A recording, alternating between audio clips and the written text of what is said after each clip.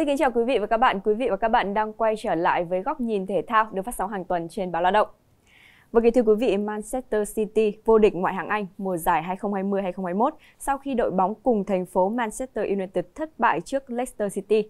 Góc nhìn thể thao số 10 tuần này sẽ cùng nhà báo Lê Vinh nhìn lại hành trình của nửa xanh thành Manchester. Vâng, xin chào nhà báo Lê Vinh. Xin chào quý vị khán giả, xin chào Thùy Linh.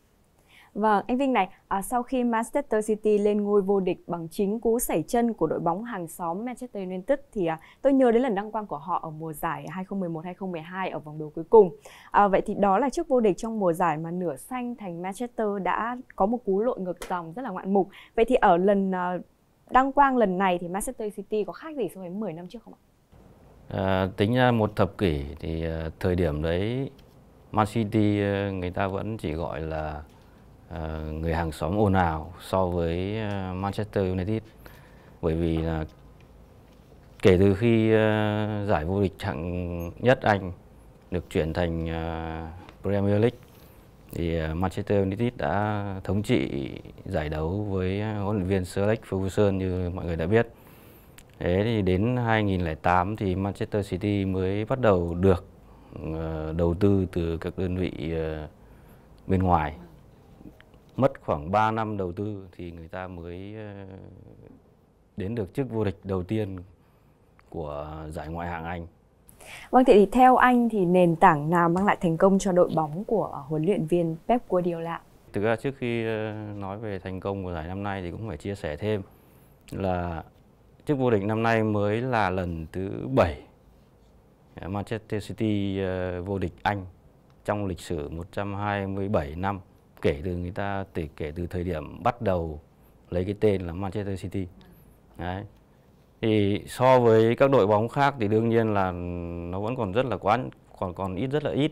Man United là 20, Liverpool là 19, thậm chí Arsenal là 13. Ngay cả Everton cũng đã 9 lần vô địch rồi. Thế thì à, bây giờ trở lại với cái nền tảng ờ, thành công trong mùa giải năm nay. Cái đầu tiên phải nói đến và cái quan trọng nhất thì có lẽ là nó phải là cái thất bại từ mùa giải trước. Tại vì sao? Bởi vì, vì từ cái thất bại đấy là người, nó tạo ra cái động lực. Và rồi là sẽ nhìn ra những cái vấn đề những cái sai lầm lớn nhất của đội bóng. Và Pep nhận ra là mình đã sai lầm khi nào khi mà cái mùa giải 2019 2020 ờ, ấy, à, ông ông ông không đầu tư cho hàng phòng ngự. À, những trận thua nó gọi là thua lãng xẹt nó dẫn đến cái hậu quả là để thua đến 9 trận. Thì để cuối cùng là Man City kém Liverpool tới 18 điểm. Và rồi là đến mùa hè năm uh, ngoái ông đầu tư rất mạnh tay vào hàng tủ đầu tư hơn 100 triệu bảng. Trong đó có cái tên à, Ruben Dias. Và như kết quả như mọi người thấy là uh, Man City đã có một mùa giải rất là chắc chắn và mặc dù là khởi đầu nó chậm cũng hơi chậm chạp nhưng ờ, khi đã tìm được cái sự ổn định cái sự linh hoạt thì ờ, người ta tiến một lèo cho đến trước vô địch. Vâng. Vâng theo như nhà báo Lê Vinh có nói thì có thể là cái nền tảng của sự thành công của họ trong mùa giải lần này chính là từ thất bại của mùa giải trước. Tuy nhiên thì cũng có cái ý kiến cho rằng là Man City vô địch là nhờ cuộc khủng hoảng chấn thương của Liverpool hay là việc thay tướng giữa dòng của Chelsea, Tottenham cũng như là sự không ổn định của Man Man United hay là Arsenal thì nhà báo Lê Vinh nghĩ sao ạ? trong một cái hành trình dài của cả mùa giải ấy, thì nó tự nhiên nó sẽ có rất nhiều lý do. À, cái ờ, vấn đề của các đội bóng khác nó cũng là một lý do nhưng nhưng thực ra nó không không không chiếm phần quá nhiều. Không tác động quá nhiều bởi vì thực tế là nếu nhìn lại mùa giải trước khi Liverpool vô địch uh, bản thân Man City cũng có vấn đề như chúng ta nói vừa xong là vấn đề ở hàng phòng ngự rồi các câu lạc bộ khác nữa cũng cũng cũng ờ, không có được sự ổn định. Chelsea cũng mới thay huấn luyện viên, Arsenal cũng thế và MU thì còn còn chưa tìm được sự ổn định của dưới thời ờ, uh, Solskjaer. Vâng vậy thì nếu rằng giả sử là Liverpool mùa giải này có đội hình mạnh nhất thì liệu Man City có thể chiến thắng không ạ? Tôi vẫn nghĩ là khả năng chiến thắng của Man City cao. Vì thực ra như theo dõi ờ, cách làm việc của ờ, hai huấn luyện viên Jurgen Klopp và Guardiola trong ờ, vài năm làm ở Anh, có cái sự khác biệt nhất định với Klopp ở Liverpool thì đúng là ông xây mất một vài năm để xây dựng được một cái đội hình đủ đủ sức để vươn lên đỉnh cao.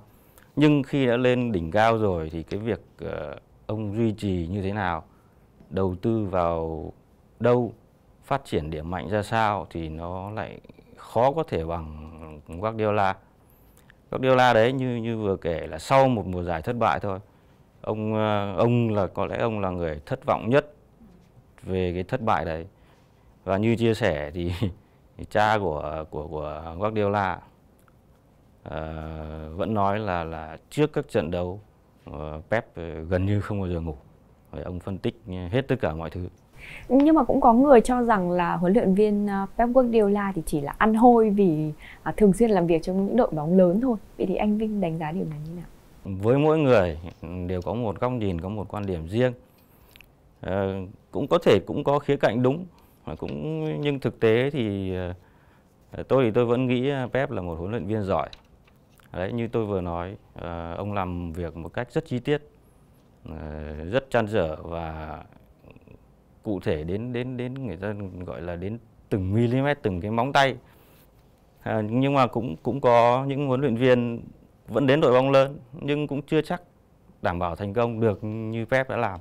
Hoặc nếu có thì nó cũng chỉ trong uh, ngắn hạn thôi. Đấy, Pep uh, luôn tạo cho mình một cái uh, liền mạch trong việc xây dựng đội bóng để uh, có thể nói là nếu Liverpool năm nay đội hình có mạnh nhất thì sẽ chỉ tạo ra cuộc đua nó căng thẳng hơn thôi. Vâng, à, tôi nghĩ rằng là đối với các uh, huấn luyện viên của các đội bóng thì đều sẽ có những cái chiến thuật riêng dành cho đội bóng đó. Vậy thì theo anh Vinh là huấn luyện viên Pep Guardiola sẽ có chiến đã có chiến thuật gì cho Manchester City lần này? Man City năm nay uh, có một cái điểm đặc biệt là Pep đã đã đã dám loại bỏ các tiền đạo ở đây là nhiều người vẫn chê cái sự vô duyên của hai cầu thủ là Gabriel Jesus và Raheem Sterling. Đến một giai đoạn, có lẽ là cái cái sự thay đổi này nó rất tích cực từ từ Pep, bởi vì là nó tạo điều kiện cho ông xây dựng một cái sơ đồ chiến thuật gọi là người ta vẫn gọi là số 9 ảo. Nó tạo ra một cái đội hình ờ, rất đa dạng và và khả năng ghi bàn nó được chia đều cho tập thể cầu thủ, không phụ thuộc vào một cá nhân nào cả. Để ví dụ như Liverpool chẳng hạn, gãy ở đâu đấy, gãy ở một chi tiết nào đấy thì coi như là họ không thể đứng dậy nổi. Nhưng nếu Man City, mặc dù cũng có rất nhiều trường hợp bị chấn thương, chứ không phải là không, nhưng mà cũng lần lượt vượt qua được những cái khó khăn để tìm lại được cái sự ổn định. Vâng, à, rất là cảm ơn những chia sẻ từ à, nhà báo Lê Vinh ạ. Rất cảm ơn anh đã dành thời gian để trò chuyện với chúng tôi ngày hôm nay. Dạ. À, cảm ơn quý vị khán giả đã theo dõi chương trình. Những thông tin về à, giải bóng đá ngoại hạng Anh sẽ được tiếp chúng tôi tiếp tục cập nhật cho quý vị trên lao động.vn. Còn bây giờ xin chào và hẹn gặp lại.